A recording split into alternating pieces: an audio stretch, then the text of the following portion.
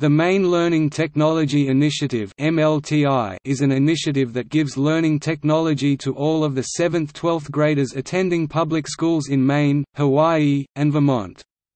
Currently, it hands out a school's choice between either iPads, MacBook Airs, Hewlett-Packard ElitePads, Hewlett-Packard ProBooks, and CTL Classmate PC netbooks to students. Before that, it gave iBooks and later MacBooks to students. When it began in Maine in 2002, it was one of the first such initiatives anywhere in the world and first in the United States to equip all students with a laptop.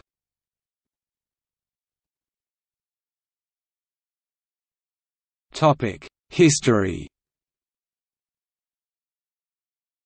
In 2000, Governor Angus King proposed the Maine Learning Technology Initiative, to provide laptops for every middle school student and teacher in the state. One of his primary reasons was a $71 million budget surplus in 1999. He immediately called for a large portion of this surprise windfall to be put into an endowment for the procurement of portable, wireless computer devices for students. After the initial public reaction to the plan it became clear that more discussion and examination of this concept was needed and thus in the summer of 2000 the legislature and Governor King convened a joint task force on the Maine Learning Technology Endowment which had the task to look in depth at the issues around this proposal and recommend the best course for Maine to follow. In a Wired magazine interview, Governor King said, I think we're going to demonstrate the power of one-to-one -one computer access that's going to transform education. The economic future will belong to the technologically adept. John Waters explains that the keys to the success of MLTI are the professional development accompanying the implementation of the program, the strategic vendor relationship with Apple, and quality local leadership. In early 2001, the task force issued its report with the recommendation that Maine pursue a plan to deploy learning technology to all of Maine's students and teachers in 7th and 8th grade and then to look at continuing the program to other grade levels. The task force report also included several guiding principles which have been embedded into the work of MLTI. During that spring legislation was authorized to begin the program for the school year beginning in September, 2002. In late September 2001, the Department of Education issued the RFP for MLTI and after scoring all of the proposals selected Apple Computer, Inc. as the award winner. In late December 2001 the department and Apple formally began to implement the Maine Learning Technology Initiative. According to Garthwaite and Weller, by fall of 2002, more than 17,000 seventh-grade students and their teachers had laptops during school.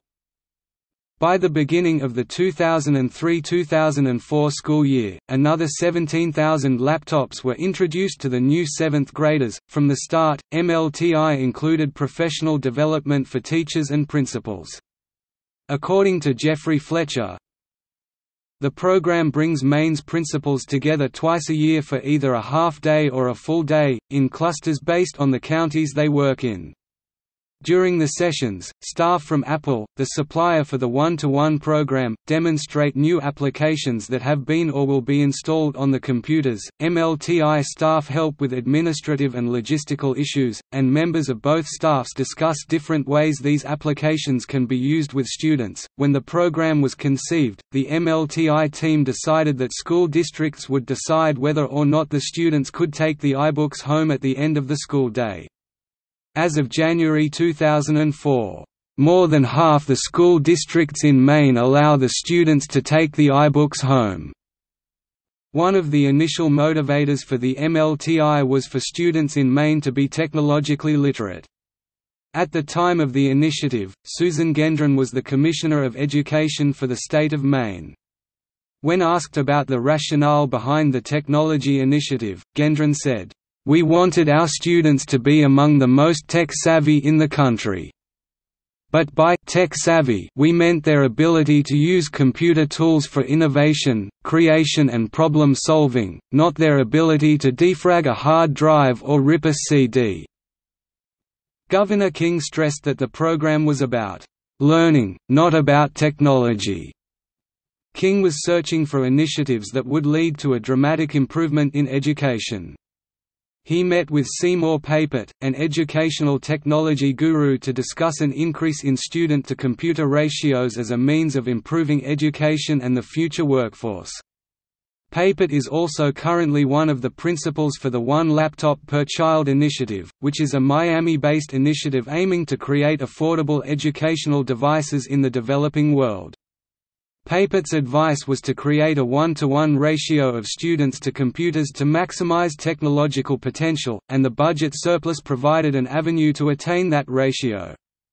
King also stressed that these computers would address the «digital divide» the divide between those with access to transformational informational technology and those without.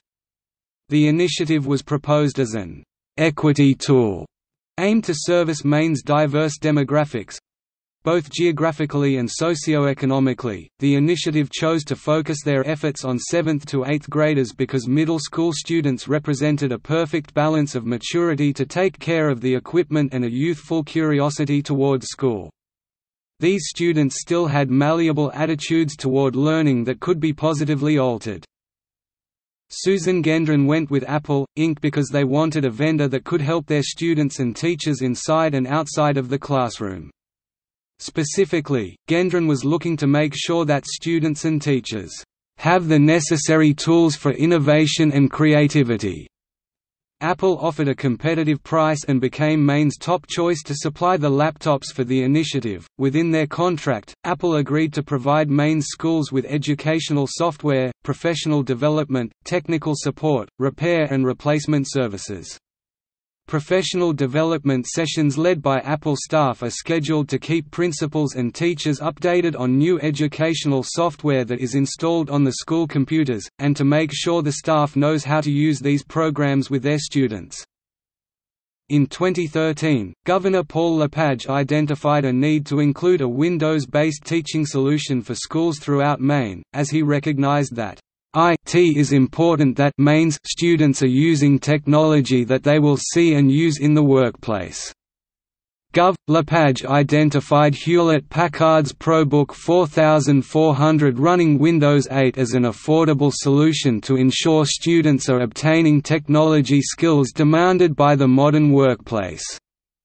HP's bid for the MLTI project was seen by LePage as the lowest price proposal, and the laptops use an operating system that is commonly used in the workplace in Maine. These laptops will provide students with the opportunity to enhance their learning and give them experience on the same technology and software they will see in their future careers. To support their one to one model, Maine chose to reference free educational tools such as the Open Educational Resources Commons project, which provides free reusable academic programs. The Open Educational Resources Commons project provides resources such as classroom management help, career and technical educational resources, and many other free and easy to use teaching and learning content from around the world. Another goal of the initiative was to increase the relevancy problem in schools. Computers give students an immediate answer to the question of, when will we ever have to use this? and provide multiple learning modalities for diverse learners. In 2009, it was announced that the MLTI program would expand into the state's high schools. That year, Maine launched the first phase of a rollout to its high schools, in which half the high schools in the state participated. Though it took six years to expand the program to high schools, it was an important part of the original vision of the program. According to Maine's Learning Technology Policy Director Jeff Mao, We've always imagined this as a 7 to 12 program. One major change in the high school version of the program is that high schools will have to pay for many of the costs associated with the program. While middle schools get money for software, hardware, network infrastructure, warranties, technical support, professional development, and data backup services. High schools only get money for installing wireless networks into their schools. As a result, only 50% of the high schools in the state of Maine chose to participate in the rollout for the 2009–2010 school year. In 2013, Governor Paul LePage considered eliminating the MLTI, being unconvinced it was needed to grow distance learning programs in schools, and due to concerns that students were too reliant on technology. His education commissioner, Stephen Bowen, convinced him to maintain the program by pointing out that bulk purchases of computers saved taxpayer money, and that technology was as essential as electricity and heat. Lepage also switched the computers in the program to Windows operating system-based computers, on the belief that most employers in Maine use such a system. While the state chose a Windows platform, choice was also allowed. Districts could choose from any of the five solutions, with the state paying for anything up to the price of its choice. As a result, over 90% of districts in Maine chose to remain with Apple, with 60% choosing Apple's primary solution, which provides Apple iPads to students and MacBook Airs and iPad minis to teachers. The remaining districts that chose Apple received MacBook Airs for both staff and students. Less than 10% chose the HP Windows solution.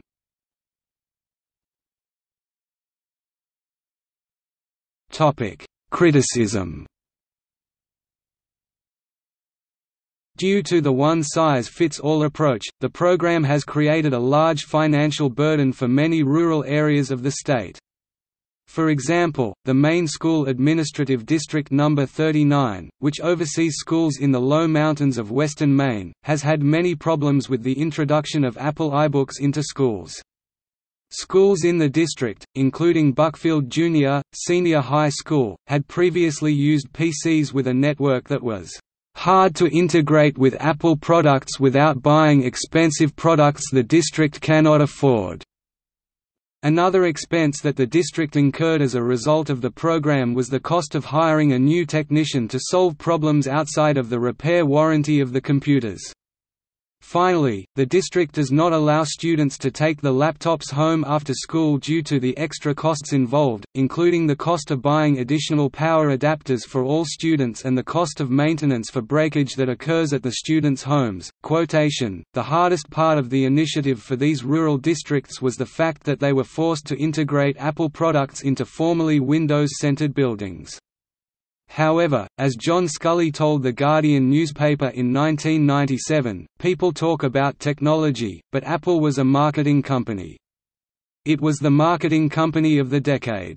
Single quote quote. As a result of their marketing, persistence, and strategic relationship with the state of Maine on the initiative, Apple won the proposal and entered many schools statewide.